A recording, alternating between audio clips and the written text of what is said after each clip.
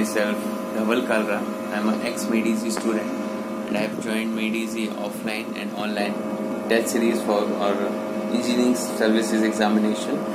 And uh, one thing uh, I would like to share with you all that MADE EASY provide very comprehensive study material and its uh, test series are bit practical.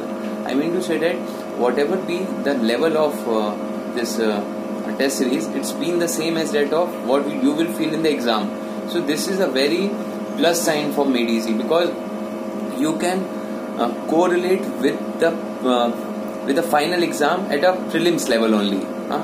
And um, again, uh, few are the more important points like uh, study material is basically two good. You don't need to refer any standard books. Okay, just that you have to do practice, uh, revision, and solve as number of questions as you can. That's it.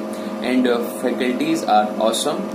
I've my friends are IES Master also, but uh, MADE EASY is the best. Okay, so the level of uh, uh, what can we say explanation is satisfactory in MADE EASY, and yeah, MADE EASY is uh, has uh, also launched next IAS. Now, if those guys who are already uh, done with engineering services, they can move it to IAS and proceed with their future goals. Okay, and all the best to you guys. Join MADE EASY and rock.